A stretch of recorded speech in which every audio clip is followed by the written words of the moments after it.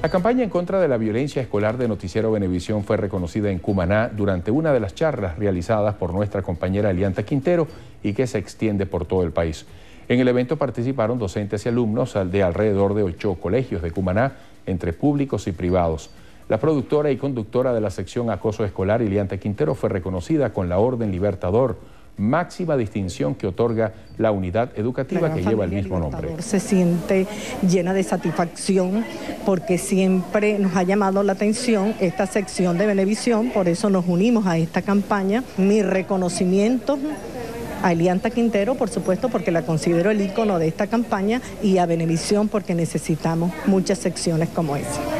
Quintero ratificó nuestro compromiso a favor de una sana convivencia. Estamos haciendo este trabajo de hormiguita, intentando justamente generar la conciencia necesaria para que despierten los corazones de profesores, alumnos, padres, representantes, de manera que podamos hacer de nuestros niños unos hombres felices, que creo que esa es la meta final.